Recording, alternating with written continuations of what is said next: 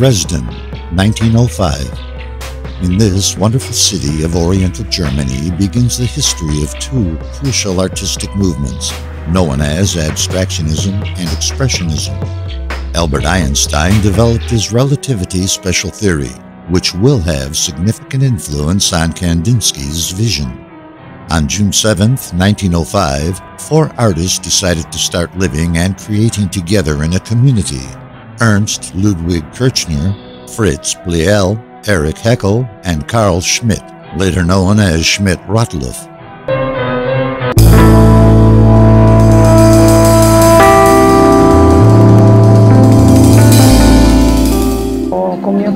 My path as an artist began when I visited as a child with my father at a ceramic factory. The owner noticed I was much interested in the decoration of ceramics and proposed me to stay with them and learn ceramic painting. The objects I decorated were sold worldwide, and this brought me much satisfaction.